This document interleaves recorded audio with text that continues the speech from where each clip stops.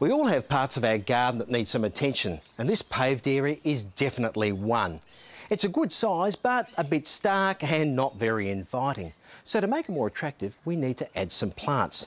And which plants we choose, well, that depends on how much sun or shade we have. Now, this area gets a bit of shade in winter, but full sun in summer. And that means choosing tough, water smart plants. Another important consideration is how you want the area to feel. This is a fairly open space, so to make it a little more intimate, adding height will help create a special cosy atmosphere.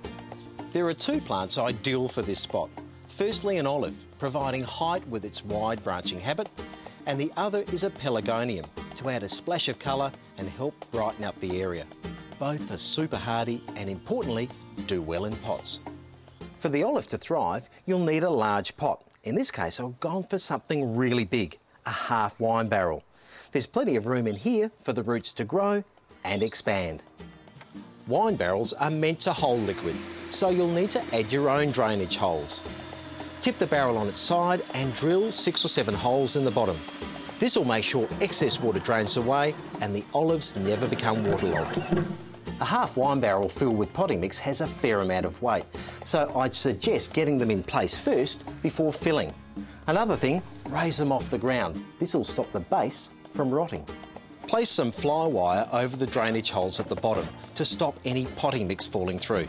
Then spread a layer of gravel over this mesh to prevent it from clogging. You'll need around 100 litres or 4 bags of potting mix per barrel. Choose a good quality mix. Remember, you get what you pay for. Part fill the barrel and don't forget the water crystals. Place the olive tree in and backfill. Plant all the olives and pelargoniums. Water in well with the seaweed extract. Regular fertilising and watering will keep the trees growing strongly and the flowers blooming longer. With some great plants in well positioned pots and a couple of accessories, we've given this once plain space a real Mediterranean feel.